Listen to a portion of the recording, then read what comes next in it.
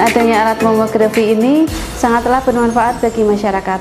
Seperti saya, ketika saya ingin mendeteksi dini uh, CA payudara, saya tidak perlu jauh-jauh keluar kota untuk memeriksakan mamografi. Cukup di sini, di RSUD Dr. Lukmono Hadi, jadi tidak memakan banyak waktu, biaya yang pastinya lebih cepat. Adanya alat mamografi di RSUD Dr. Lukmono Hadi lebih memudahkan kita untuk menegakkan diagnosis sehingga diharapkan tumor dan benjolan pada payudara bisa terdeteksi lebih dini sehingga ketepatan uh, penanganannya lebih baik tidak sampai stadium lanjut.